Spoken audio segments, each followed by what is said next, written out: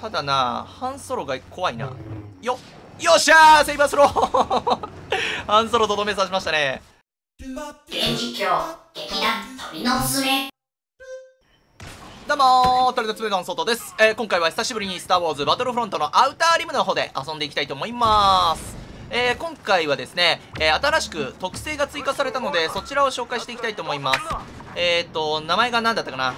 エスケープアーティストだったかな？痛い、痛い。エスケープアーティストっていう新しい特性が追加されたんですけども、えー、走る速度がね、速くなるっていうちょっと変わった特性ですね。で、レベル2になるとさらに50%足が速くなると。なんだ？そこか？あー、死ぬ死ぬ死ぬ死ぬ死ぬ。大体あの衣装を着てる人強いよね。うん、やっぱ70レベルですから。大体あの衣装の人強い。さあ、そこの真下にいるんだが。俺俺俺俺よっしゃよっしゃよっしゃよっしゃ。バクターボム。オッケーオッケー。で左に1回展開。ちょっと危ない危険地域。ナイス。ちょっとずつちょっとずつクリアしていこう。いやちょっと久しぶりにエクストラクションとかさちょっと熱い。なかなか熱い。本当に数ヶ月ぶりに、えーアウターリムマッチングやってみたら意外とマッチングしてびっくりしましたもっとマッチングしないのかなと思ってたんだけど意外とマッチチングするんだねっていうところでね。オーバーヒートさせーの。あぶナッシンオッケー。バクターボム。あー危なかった。おお後ろをついていっちゃうぞ。後ろをついていっちゃうぞ。ドロイドランじゃねえけどあのドロイドいるけど。ちょっと待って。ちょっと待って。ちょっと待って。横をついてって敵を倒しつつあ停止してるのか。停止してないしてないのか？ああいやいるのか？いるのか？がっつりいるのか？いややっぱ序盤はちょっと相手側にヒーローがいるからね。やっぱ不利だね。いやでもこれが楽しいんだよな。で今回この特性のエスケープうんちゃアーティストだ。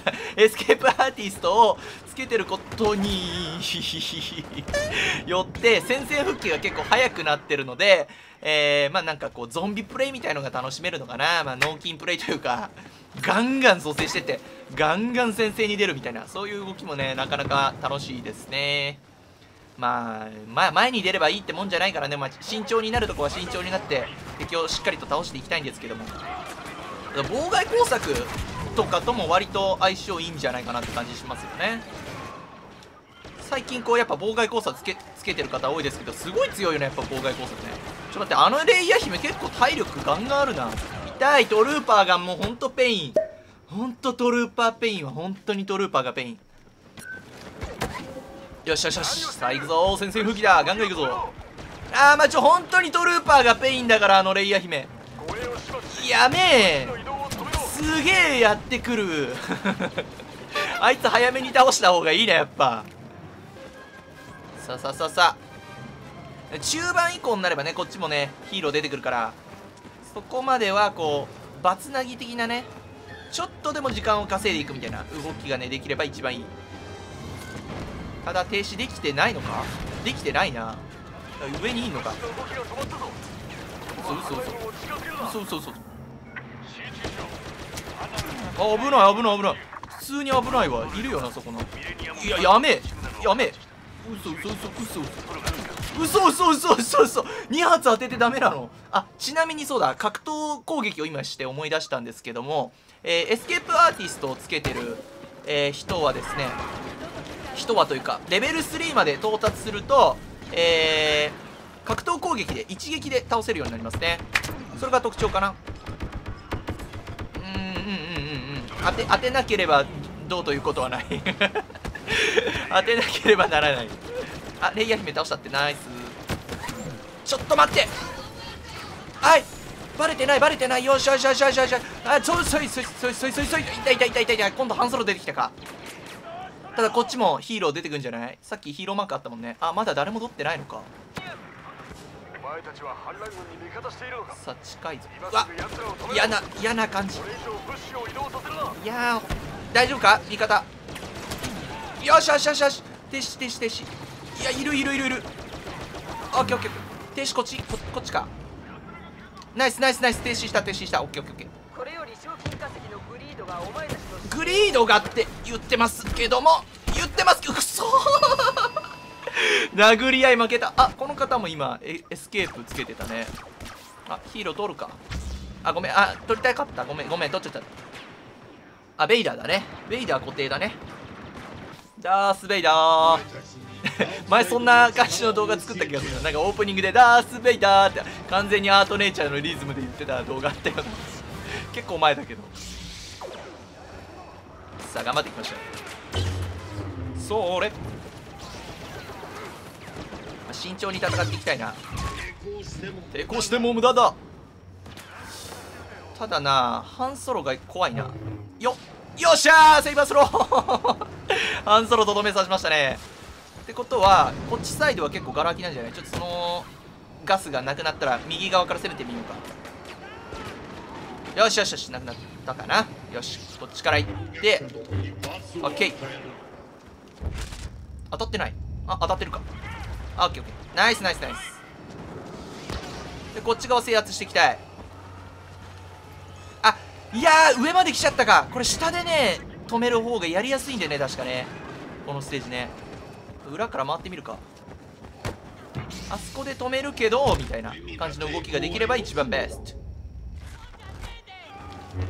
嘘。いや危ね。サイバースロー。まだ近くにいるんじゃないか。そうここの辺。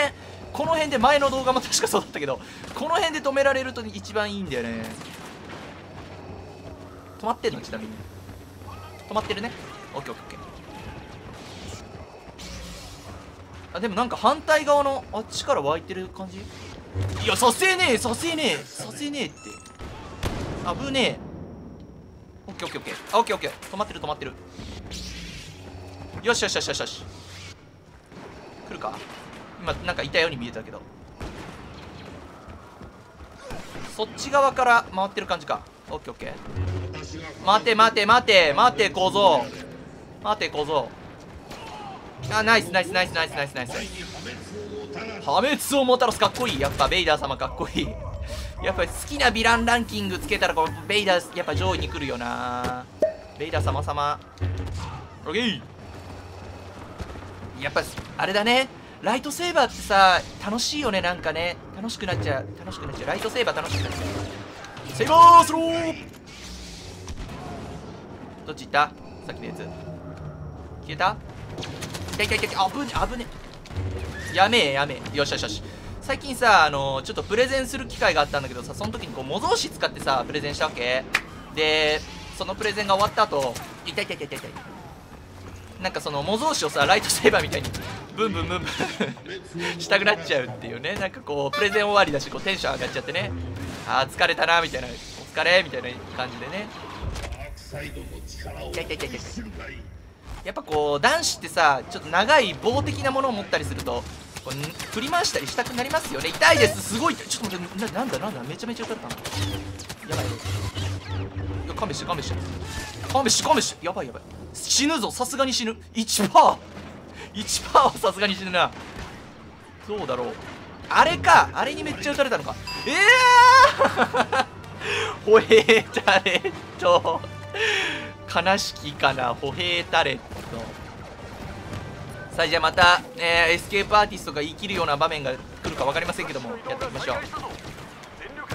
いいねなんかねやっぱりエクストラクション熱いわ。このドンパチ感がいい。すごい。こっち側上がられてる感じ？